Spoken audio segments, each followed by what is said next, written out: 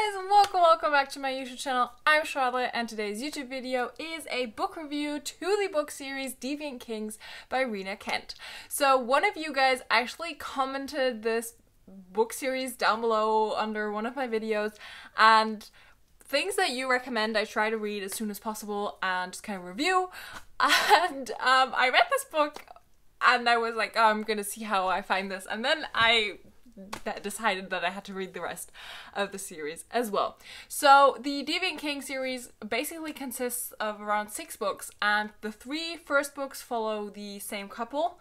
Um, so like the same main characters, and then the fourth book, the fifth book, and the sixth book follow different characters. So then they're each like spin-off books. To be fair, I have only read the first four books.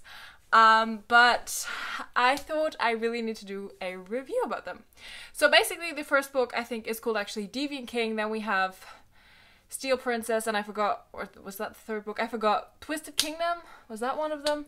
I don't know. They had weird names. But the first book is called Deviant King, and that one follows Elsa and Aiden. So Elsa is this girl that kind of grow up, grow grew up with her aunt and uncle because something really, really tragic happened when she was a small kid that basically killed both her parents.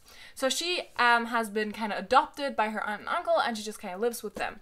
And they have uh, this firm I think called Quinn Engineering and they're working really really hard to like afford like this really good education for her so they sent her for I think the last 3 years of her school education to these like really prestigious high school, like freaking prestigious. And she kind of arrives there, and on her first day, she sees like this boy group that like everybody loves. They're like, I imagine them to be like the pop stars of this high school, and so they're like their own little group. And she like comes in and like she sees them and she sees like okay these dudes they run the school and then she sees this girl that is like panicking. She this other girl sees them and she's like panicking. And that is Kimberly and they kind of like become best friends because they like bond over this boy group being basically bullies. And then one of this the dudes in the boy group sees her and he literally comes to her and says, "I'm going to ruin you." And she's like, "Wait, what? I don't know you, bro. What?" And so that this uh, boy group basically makes her whole school life hell. And she has no idea why because she doesn't know the guy that basically promised to ruin her. She doesn't know any of these people. Like, she's like new. And so she just kind of tells herself, I only have to survive three years and then I'm out of here. And basically, the first book kind of takes off after like a little prologue, um, and it takes off like in her last year and how she's like, I'm nearly there, and I didn't like kill anybody, and then um, Aiden, the guy who has always kept his distance, the one bully that said he's gonna ruin her, he has always kept his distance. He didn't really care about her, not enough to like kind of like threaten her. So he's always kept his distance. He's kind of let his minions do all the dirty work. And then he decides not to keep his distance and to get involved in the whole bringing Elsa down. And people call her the Ice Princess and not.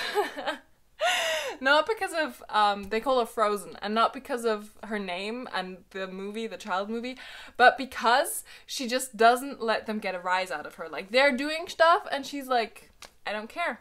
Bring it on. Bring it on. And I really like that. I really like that this was a main character that was like, F you guys. I'm not taking anything for granted.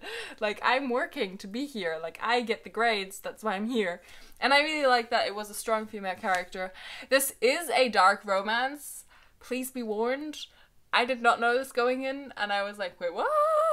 Um, the book gave me Punk 57 vibes, but it was more, like, it was more dark, I guess. Like, it was more on the darker side of things. Um, and throughout these, this, like, book series, like, Momo's secrets get unraveled, and then she finds out why Aiden is even interested in her, and then there's this like side plot between like Aiden's best friend, uh, Xander, and her best friend, and then like between two characters that come, I think in the third or second book, and uh, the rest of like the boys in the group. Um, and the thing is, like, I read the first three books and I really I liked the first book the most, and the second and third book were just like the, a continuation of the story. And I also really like them because the first and second book, I believe, end on cliffhangers. So I was glad that I like read uh, the third book as well. The fourth book that follows Xander and Kimberly, like two two different um characters, I did not like. Um, I did not like the uh, plot, and I did not like the thing that they brought in there for suspense. It was just it iked me. I did not like it, and that literally ruined the book for me because I was like, that book had like the most potential, and I was like, ah, oh, no, I can't read that. I did read it because I didn't want to DNF it, but I uh, did not like it.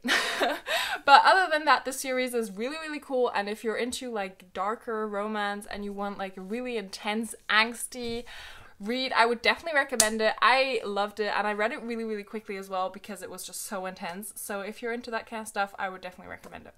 That was it for today's YouTube video. I'm Charlotte. If you're new, you can just subscribe to my bookish YouTube fam by clicking the button down below. It's completely for free. Check out my other links if you feel like it. They are linked down below.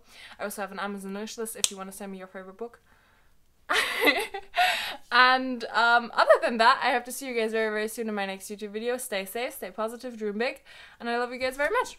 Bye!